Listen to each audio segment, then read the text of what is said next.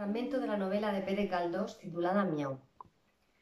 A Doña Pura no la cogían de nuevas las demostraciones insinuantes de su yerno, pero esta vez, sea porque fuesen acompañadas de la donación en metálico, sea porque Víctor extremara sus zanamerías, la pobre señora le tuvo por moralmente reformado o en camino de ello siquiera.